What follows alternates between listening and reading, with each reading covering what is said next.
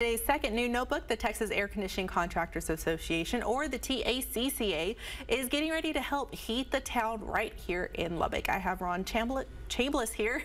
He is the secretary for the TACCA, and he's here to tell us all about their upcoming event and how they're going to heat the town. So thank you so much for joining me today. Thank you for having us. All right, so what is the TACCA in it, the South Plains chapter? It is our Texas Air Conditioning Contractors Association. We represent about 6% of the, the contractors here in the city. And each year, for the last 23 years, we go out and service furnaces for the elderly that qualify and make sure that their furnaces are safe to use and we'll do some repairs if we can and and change out the batteries in their smoke detectors. Just make sure that they'll get through the winter safe.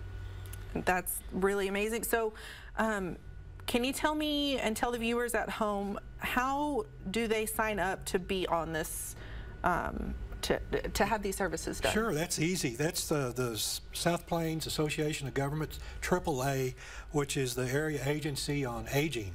Uh, real nice gentleman there by the name of Francisco leads that team. And that number is 762-8721, 762-8721. And they'll call and, and be qualified. They have to be 60 years of, old, 60 years of age, uh, own their own home. Um, and then there's some income qualifications, obviously. Yes, but you can call the SPAG AAA and get right in.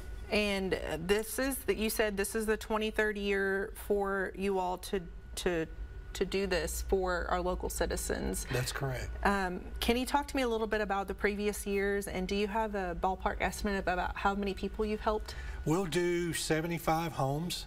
That's our that's our number that we like to keep. And we, you know, so multiply that by 20 years. but but each year we will we will save a life. There there's just homes that have dangerous equipment or homes that have no heat and have not had heat for a couple of years. And that's, and you know, they'll use their cook stoves to, to heat the home.